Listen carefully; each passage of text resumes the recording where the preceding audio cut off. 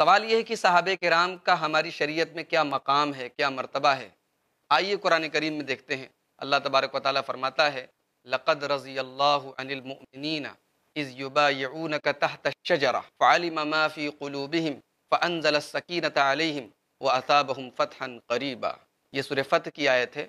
अल्लाह तबारक वाली ने साहब कराम के बारे में फरमाया और ख़ास तौर से यहाँ उन साहब कराम का ज़िक्र हो रहा है जिनसे अल्लाह के नबी वसल्लम ने एक दरख्त के नीचे बैत ली थी। तो अल्लाह तबारक वाली फरमा रहा है, ये तकरीबन चौदह सौ साहब कराम थे।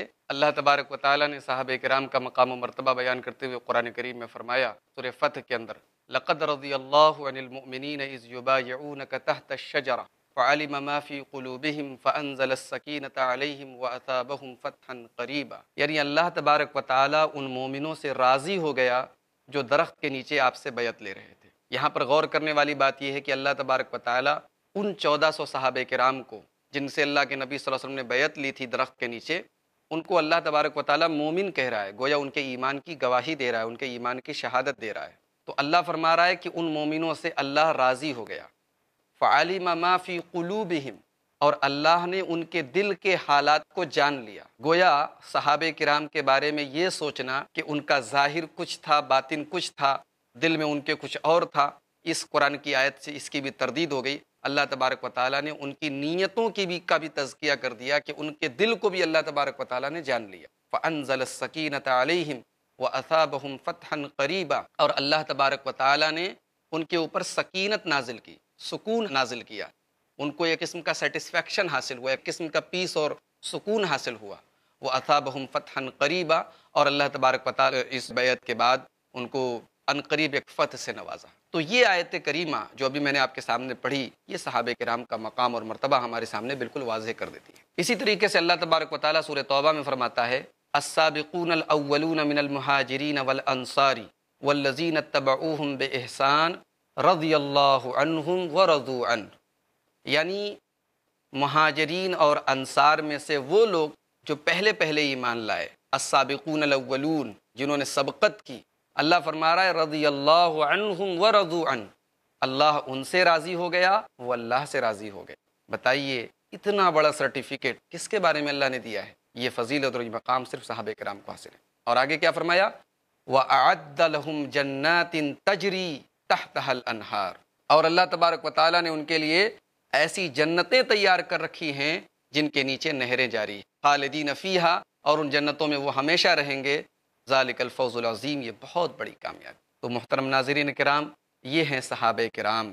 ये हैं अल्लाह के नबी सल्लल्लाहु अलैहि वसल्लम के वो सहाबा, आपके वो साथी, जिन्हें अल्लाह तबारक ताली ने आपकी नुसरत के लिए, आपकी तायद के लिए, आपकी मदद के लिए, आपके सपोर्ट के लिए मुंतखब किया था। अल्लाह तबारक ताली ने साहब कराम का तस्करा करते हुए कुरान करीम में फरमाया मोहम्मद रसूलुल्लाह वल्लजीन माहू अशिद्दा वलकुफ़ार रहमा उबैन मोहम्मद अल्लाह के रसूल हैं। और जो आपके साथी हैं, जो आपके सहाबा हैं, अशिद्दा उलकुफ़ार वो काफिरों के लिए सख्त हैं, रहमा उबैन लेकिन आपस में बहुत रहम दिल हैं। और आगे फरमाया, तराहम रुक्न सुजदन तगून व रिजवाना यानी आप देखेंगे कि ये सहाब कराम रुकू की हालत में हैं और सजदे की हालत में हैं और अपने रब के फ़ज़ल को और उसकी रजामंदी को, उसकी रिजवान को ये लोग तलाश करते हैं। गोया अल्लाह तबारक वाली ने उनके अखलास की भी ज़मानत ले ली कि उनके सजदे और रुकू दिखावे के लिए नहीं हैं नवज़बिल्ला मुनाफिकों की तरह नहीं हैं, बल्कि उनके रुकू और सजदे का मकसद क्या है? अल्लाह तबारक वाली की रज़ा, अल्लाह तबारक वाली की खुशनूदी का हसूल है। और आगे क्या फरमाया? सीमा फ़ी वजूहिम असर सजूद। ये सहाब कराम जो हैं, इनका बातिन तो अच्छा है ही, इनका ज़ाहिर भी बहुत अच्छा है। इनकी पहचान क्या है? इनके आप चेहरे देखिए, इनके चेहरों पर, इनकी पेशानियों पर आपको जो है सजदे के निशानात नज़र आएँगे।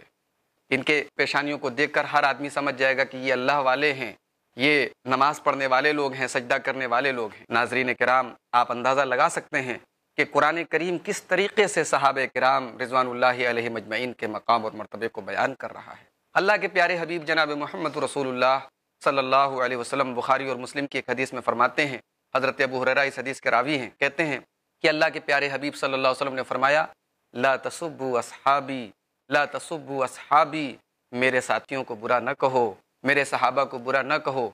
फ़िन अहदकुम लव अनफ़ मिसल उहदिन जहबा, मा अदरक मुद्दा अहदिम वला नसीफ़ा।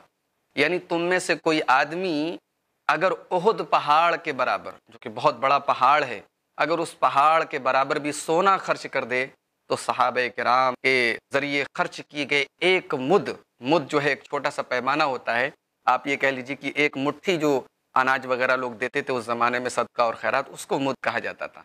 तो एक मुद और आधे मुद जो सहाब कराम ने जो खर्च किया, उसकी बराबरी नहीं कर सकता। आज का कोई इंसान अगर ओहद पहाड़ के बराबर सोना खर्च करे। मोहतरम नाजरीन कराम, आप अंदाज़ा लगाइए कि सहाब कराम का कितना बड़ा मकाम है और उनके बारे में अपनी ज़ुबान को गलत इस्तेमाल करना या सहाब कराम पर किसी किस्म की जो है तानो तशनी करना, उनकी किरदार कुशी करना कितना बड़ा जुर्म है। इसीलिए अल्लामा तहावी रहमत जो बहुत बड़े इमाम गुजरे हैं, बहुत बड़े आलिम दीन गुजरे हैं, वो अपनी मशहूर किताब, उनकी किताब है अलक़ीदतहाविया वो अपनी किताब में फरमाते हैं, व नशिब वसहाब रसूल सल्ला हम अल्लाह के रसूल सल्लल्लाहु अलैहि वसल्लम के सहाब कराम से मोहब्बत करते हैं। वला नुफ़ी हब अहद मिनहुम। और हम किसी भी सहाबी की मोहब्बत में तफरीद से काम नहीं लेते। हम किसी सहाबी की मोहब्बत में हम किसी किस्म की कमी नहीं करते। वला नतबर्रमिन अहद मिनहुम। और हम किसी भी सहाबी से बरात का इजहार नहीं करते।